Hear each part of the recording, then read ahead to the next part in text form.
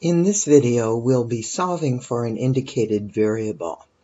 Our problem that we'll be working with is to solve v equals 1 third pi r squared h for r.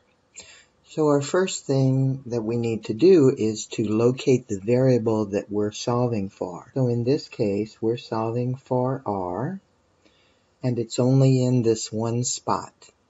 So my process that I'll use to solve for r is to remove this factor and the pi factor and the h factor first. So my first um, thing that I'm going to do, instead of just dividing by all of these factors since they're multiplied, I'm going to remove this one-third factor first. And the way I'm going to do that is by multiplying both sides of the equation by 3.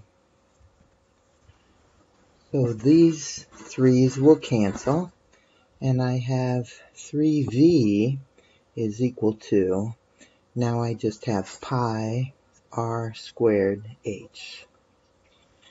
And again, remember I'm solving for r, so let's remove the pi and the h. Since they're multiplied, I can divide both sides by pi times h. Um, on the right side, the pi's cancel and the h's cancel, and I'm left with just r squared. And then on the left side, I have 3v divided by pi h. My next step then is to remove this exponent. Since it's squared, I'll need to square root both sides and the square root and the square are inverse operations and I have just r on the right side.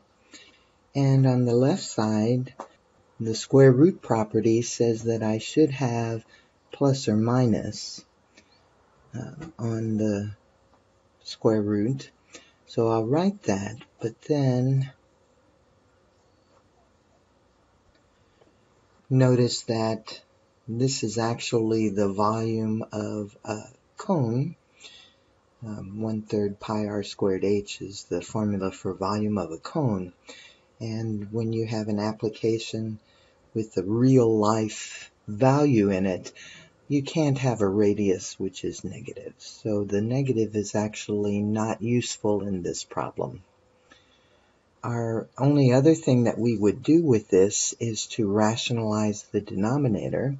So let me break this radical into two separate radicals. I have the square root of 3v in the numerator, and then the square root of pi h in the denominator. Remember that in order to rationalize the denominator, you multiply top and bottom by the radical. So we'll multiply by square root of pi h in the top and the bottom. This then gives me r is equal to the square root of